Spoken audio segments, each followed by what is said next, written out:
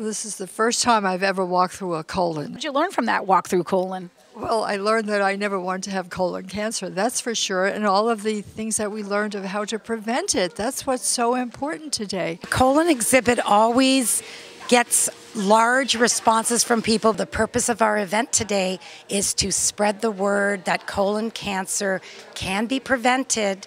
And if it's caught early, in the early stages, 90% cure rate and five years survival rate. More than 100 people attended Torrance Memorial Medical Center's third annual colorectal cancer screening and lecture.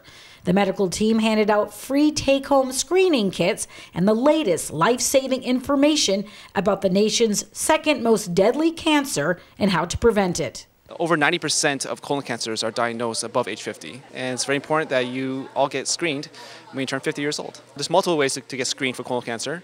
Uh, one is to get a colonoscopy, which is uh, the gold standard, because um, that's the only way you can actually detect polyps um, and actually take them out.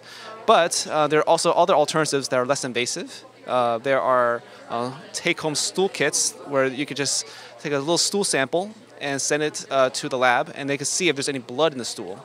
And if there's any blood in the stool, that might be a sign that you might have colon cancer. So I want people to really start to think about their family history. I think that's a really important thing is to start asking your family members, who's had cancer in our family? What age were they diagnosed at? Do I have any of these red flags for a hereditary cancer syndrome that I should be referred and get evaluated to see if genetic testing might be something that would be important for me and my family members? There is a genetic component. Um, if you do have a first degree relative with colon cancer, you're at twice the amount of uh, risk as the normal healthy patient. There's also um, you know environmental factors. So the food you eat, uh, like, such as a lot of red meat, processed meat. It has been shown that 47% of colorectal cancers can be prevented by maintaining a healthy weight, by staying active, by eating less red meat, and eating more of a uh, plant-based diet. What are the symptoms? How would you know you might have this? Actually, a lot of times people have no symptoms, which is a scary thing. Just get screened.